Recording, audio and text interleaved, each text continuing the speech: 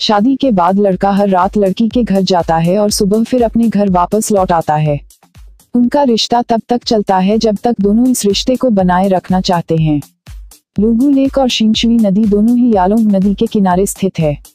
कुछ यात्री यहाँ सेक्सुअल फैंटेसी के साथ यहाँ की विजिटिंग मैरिज का अनुभव लेने के लिए आते हैं, लेकिन स्थानीय लोग अपनी जनजाति से बाहर किसी के साथ ऐसा रिश्ता नहीं बनाते हैं। शादी के बाद लड़का हर रात लड़की के घर जाता है और सुबह फिर अपने घर वापस लौट आता है। उनका रिश्ता तब तक चलता है जब तक दोनों इस रिश्ते को बनाए रखना चाहते हैं। इस रिश्ते में दोनों के बीच कोई आर्थिक संबंध नहीं होता है। दंपति के बच्चे का पालन पोषण पिता नहीं बल्कि लड़की के घर वाले करते हैं। इनकी शादी कोई बंधन नहीं है बल्कि उन्हें आज़ादी रहती है कि वह कभी भी इस शादी को खत्म कर सकते हैं। यानी दोनों जब चाहे एक दूसरे से अलग हो सकते हैं। तिब्बतन स्टडीज़ के एक एक्सपर्ट रेंशी जियान बताते हैं, यालोंग नदी पर ऐतिहासिक डोंगनव देश बसा था, वहाँ मातृसत्तात्मक व्यवस्था के प्रमाण मिलते हैं। आज भी यहाँ यही व्यवस्था चल रही है।